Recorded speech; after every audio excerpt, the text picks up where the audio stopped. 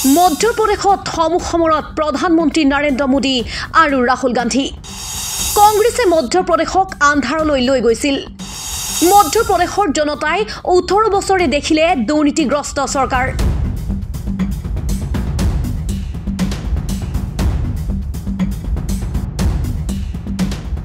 মধ্যপ্ৰদেশ বিধানসভা নিৰ্বাচনৰ বাবে মাজত মাত্ৰ চাৰিটা দিন বাকী।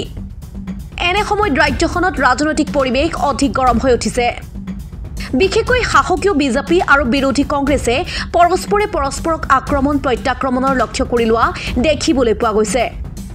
নিৰ্বাচনত জয়লাভৰ বাবে সকলোৱে নিজৰ নিজৰ শক্তি প্ৰয়োগ কৰা দেখিবলৈ পোৱা গৈছে।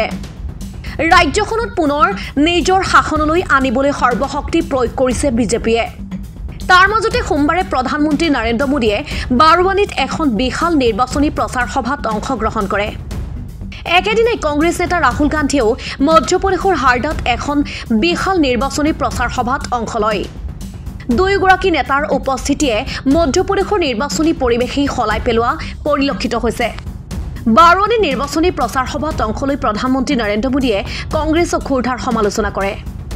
এই নিৰ্বাচন মধ্যপ্ৰদেশক উজ্জ্বল ভৱিষ্যত নিৰ্ণয় কৰাৰ নিৰ্বাচন কংগ্ৰেছে মধ্যপ্ৰদেশক আন্ধাৰলৈ লৈ গৈছিল বিজেপিয়ে মধ্যপ্ৰদেশক আন্ধাৰৰ পৰা বাহিৰলৈ আনিছে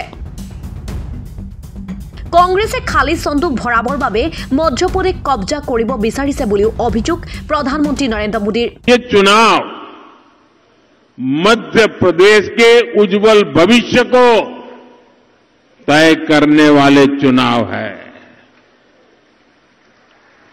कांग्रेस के नेता है जो एमपी को अंधेरे कुएँ में धकलने के जिम्मेदार है। वहीं दूसरी तरफ़ भाजपा है जो एमपी को अंधकार से बाहर निकाल कर लाई है।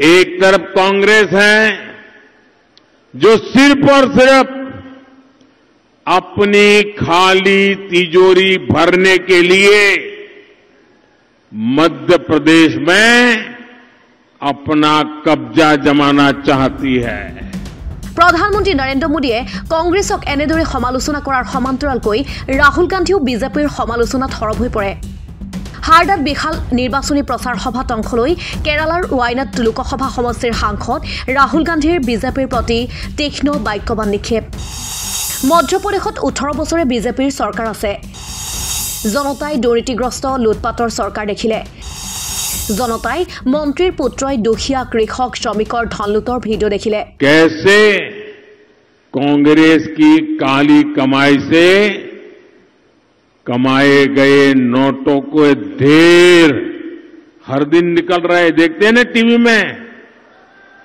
नोटों के ढेर উল্লেখ্য যে অলপতে কেন্দ্ৰীয় কৃষি আৰু কৃষক কল্যাণ মন্ত্ৰী নৰেন্দ্ৰ সিং টোমৰৰ পুত্ৰই ধন লুটৰ এটা ভিডিঅ' ভাইৰেল হৈছিল।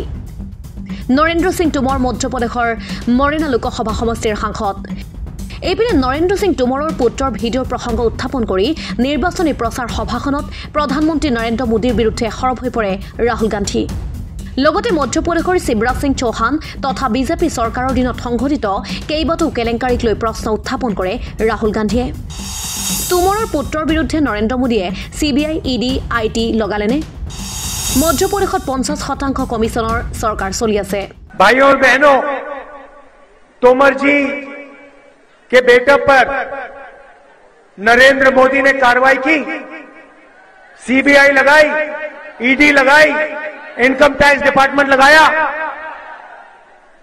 यहां पे 50 परसेंट कमीशन सरकार चल रही है महाकाल कॉरिडोर में चोरी की व्यापम में एक करोड़ युवाओं को नुकसान किया चालीस लोग मर गए कोई इंक्वायरी नहीं पटवारी एग्जाम स्कैंडल में कोई इंक्वायरी नहीं एमबीबीएस सीट बिकती है कोई इंक्वायरी नहीं উল্লেখ্য যে মধ্যপ্ৰদেশ বিধানসভা নিৰ্বাচনত বিজেপি আৰু কংগ্ৰেছৰ মাজত তুমুল যুঁজ হোৱাৰ সম্ভাৱনা আছে নিৰ্বাচনী প্ৰচাৰ সভাবোৰেই তাৰ প্ৰমাণ দাঙি ধৰিছে। এই নিৰ্বাচনী প্ৰচাৰ পোন্ধৰ নৱেম্বৰৰ সন্ধিয়া অন্ত পৰিব। সোতৰ নৱেম্বৰত দুশ ত্ৰিছখন আসনযুক্ত মধ্যপ্ৰদেশ বিধানসভাৰ নিৰ্বাচন অনুষ্ঠিত হ'ব। তিনি ডিচেম্বৰৰ ফলাফলত পৰৱৰ্তী পাঁচ বছৰৰ বাবে ৰাজ্যৰ শাসন কাৰ হাতলৈ যাব সেয়া স্পষ্ট হ'ব। কিন্তু কেইবাটাও প্ৰাক নিৰ্বাচনী সমীক্ষাত এইবাৰ মধ্যপ্ৰদেশৰ শাসন কংগ্ৰেছে কৰিব বুলি সম্ভাৱনা প্ৰকাশ কৰা হৈছে। ইয়াৰ বাবে অপেক্ষা কৰিব লাগিব তিনি ডিচেম্বৰলৈ।